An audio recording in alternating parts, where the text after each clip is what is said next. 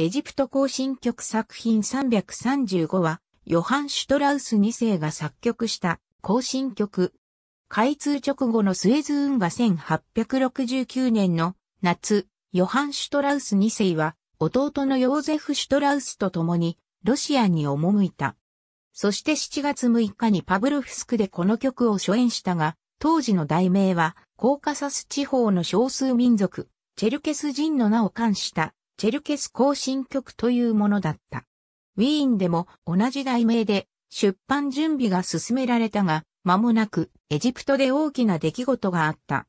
同年11月17日、オーストリア・ハンガリー皇帝フランツ・ヨーゼフ一世をはじめとする各国の元首が集まってスエズ運河開通祝典が行われたのである。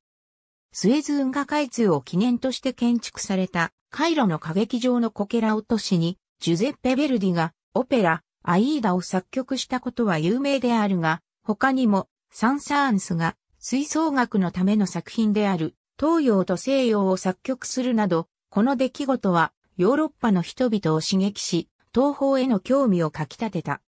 こうした雰囲気の中で、シュトラウス2世もスエズ運河開通にちなんで、チェルケス行進曲をエジプト行進曲と改題し、バーデン大公フリードリヒ一世に検定した。ピアノ初版譜の表紙には、ピラミッド及びエジプト副王、イスマーイールパシャのパレードが描かれている。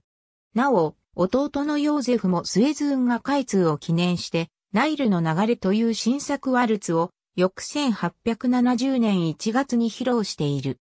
ウィーンフィルニューイヤーコンサートへの登場歴、ABCD 若宮歩み、ウィーンフィルニューヤーコンサート2014曲目解説、バレンボイム、ベルリン国立歌劇場音楽監督の実力を発揮。より、エジプト行進曲、ハット ABC 若宮由美、ウィーンフィルニューヤーコンサート2019曲目解説、初登場のティーレマンが新しい姿で見せるより、エジプト行進曲。ありがとうございます。